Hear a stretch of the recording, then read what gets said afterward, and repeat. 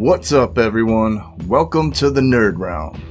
I'm Kyle the Wanderer, and on today's Card Vault series, I'm going to show you the Pokemon card from Base Set Unlimited, number 38, Poliwhirl. So, without further ado, let's reveal the card.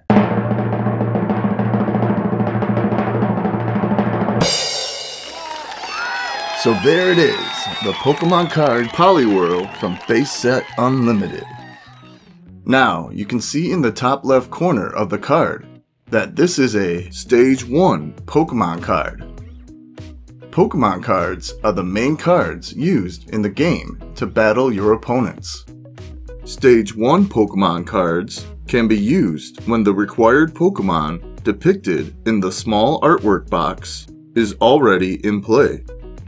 Poliwhirl evolves from Poliwag. To the right of the stage title, you have the title of the card, which in this case is Poliwhirl. In the top right corner of the card, you have the Pokemon's HP or hit points, which in this case is 60. Next to that, you have the symbol of the Pokemon's energy type, which in this case is water. Below that, you have the card illustration, We'll take a closer look at that in a moment. Below the illustration, you have some Pokédex data. Poliwhirl is a tadpole Pokemon. Its average length is 3 feet 4 inches. Its average weight is 44 pounds. Below the data, you have the Pokemon's attack moves or abilities. Poliwhirl's first move is Amnesia, which states Choose one of the defending Pokemon's attacks. That Pokemon can't use that attack during your opponent's next turn. The requirement to use the attack is 2 water energy. Poliwhirl's second move is Double Slap, which states Flip 2 coins. This attack does 30 damage times the number of heads. The attack does 30 times damage and the requirement to use the attack is 2 water and 1 colorless energy. Underneath the moves, on the left side, you have the Pokemon's weakness, which in this case is grass. In the center, you have the Pokemon's resistance, which in this case, Poliwhirl doesn't have a resistance. On the right side, you have the Pokemon's retreat cost, which in this case is 1 energy. Below this, you have the Pokemon's Pokédex entry, which reads as follows. Capable of living in or out of water. When out of water, it sweats to keep its body slimy. After that, you have the featured Pokemon's current level, which in this case is level 28. Next to that, you have the Pokemon's Pokedex number, which in this case is Pokedex number 61.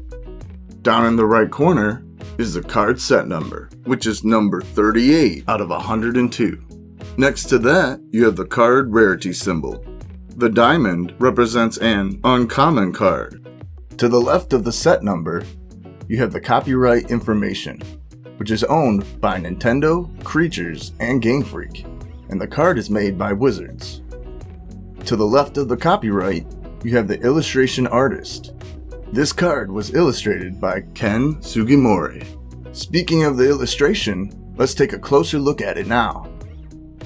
The illustration features drawn artwork of a dark blue, circular, frog-like creature.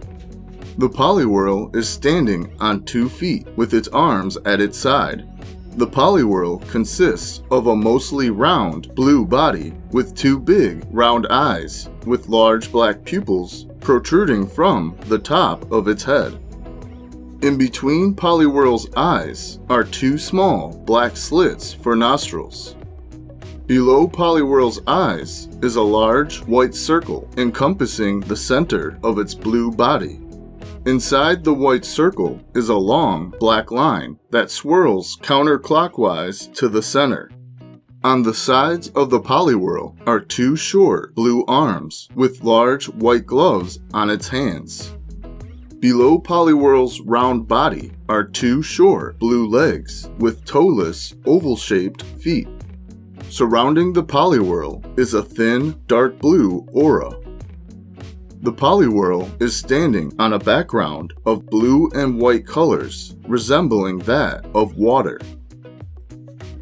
And there you go. That about wraps up our up close look at the Pokemon card Poliwhirl from Base Set Unlimited. Stay tuned for the next card in this Card Vault series, presented by the Nerd Realm.